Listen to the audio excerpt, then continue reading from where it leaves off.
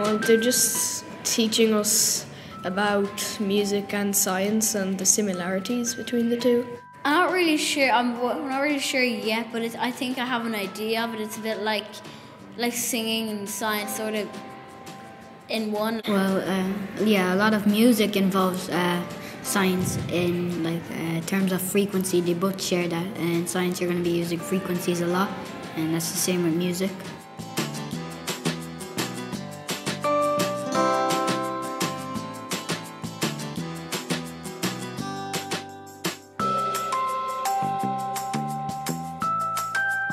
Making instruments, and I'm going to make an elephant. It will probably have a decoration of ears on it. So far, I made two bongo drums. Oh, I'm not finished mine yet, but I'm doing something that sounds like thunder.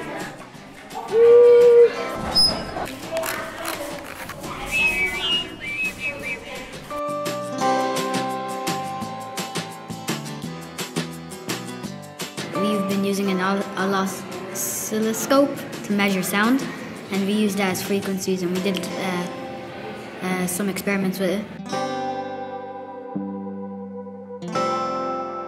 I thought the most interesting thing was when the beads moved apart from the drum.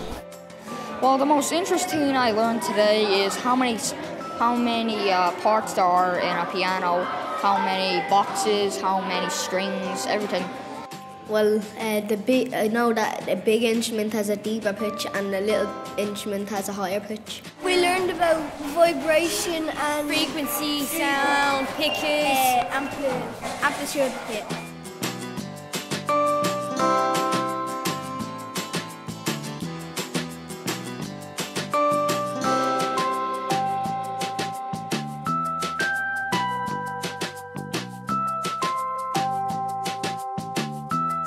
Yes, definitely. 100%. Definitely 100% yes. Yeah. It's fun and you get to learn things. Actually, um, inspired me today. Yeah, I think every single kid in the country should be allowed to get this experience. It's, it's really fun learning about the stuff. It's not just learning, it's like finding out new stuff.